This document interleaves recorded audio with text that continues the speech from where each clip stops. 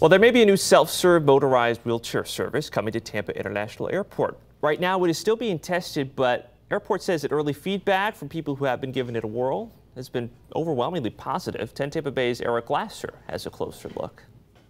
I think it's great.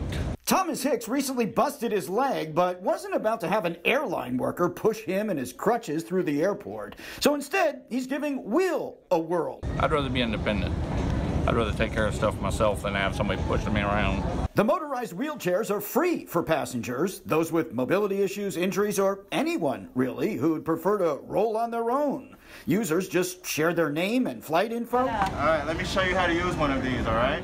And then off they go, using the motorized wheelchairs as long as they need to until they get on their flight. An attendant will stop by the gate to pick it up later. Stop along the way, grab some food, go to a restaurant, use the restroom, and really have that flexibility and that control and independence. They bring it right back here to the station and we charge it up for the next person. Charge it and sanitize it and clean it, make sure it's all wiped down and sanitized and charge it up for the next person. By law, airlines are obligated to provide wheelchair service, and with that, a small army of so-called pushers.